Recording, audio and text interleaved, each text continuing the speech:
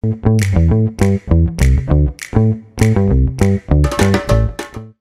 don't need to unzip or download your compressed files. All right, in this video series about the R language, I'm showing you how to iterate with custom functions. Along the way, I'm highlighting tips and tricks for tidying data.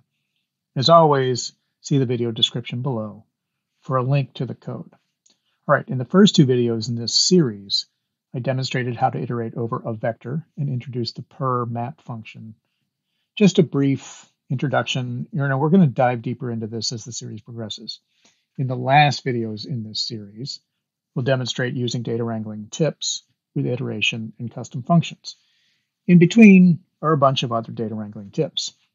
So this is a brief practical tip video. This video may be even shorter than the last video about ingesting Excel files. The tip is you don't need to unzip or download your compressed files. I'll show you how to do this with the Tidyverse readr package. And by the way, the same functionality is true for the data.table fread function. Okay, so here at uh, line 89, we're going to use the fsdir create function to create a data directory. Uh, there actually already is a data directory, but this is a non-destructive create. So fsdir create is smart enough to not destroy what's already there.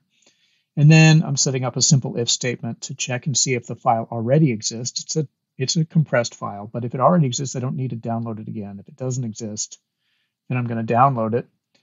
Um, uh, but as I said, I don't really need to download it. I'm just doing this for the workshop so that we're all sure we have the data when we get started, right? And then I'm going to use the read underscore TSV function, which is same as the read underscore CSV I'm reading in compressed data.gz that is tab separated, just like CSV is comma separated, and I'm going to limit that to only 1,000 rows just for brevity. To recap, compressed files will be automatically uncompressed, but also know that internet files, that is, files that begin with a protocol such as HTTPS or FTP, they'll automatically be downloaded.